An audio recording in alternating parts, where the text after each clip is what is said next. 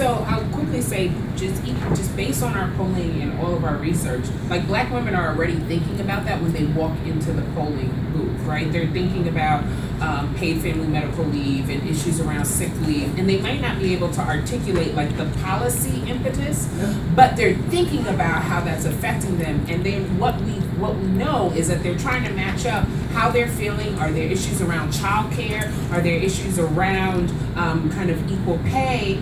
And then they walk into the voting booth and sit, and say and make a calculation who's closest and who aligns themselves with those issues. So I think part of it is a translation, and I think for those in media, you have the ability to both speak to that and connect the dots and say, you're thinking about this, you're having these table these conversations at your kitchen table, you're talking about childcare issues, and we know that childcare is more expensive in every state in the country than rent in most cases. So you're already having that conversation.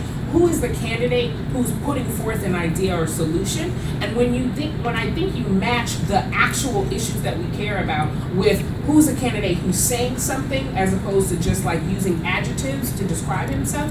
Um, when you actually do that, I think you'll you'll be able to kind of get some excitement because you'll speak to how people are actually feeling.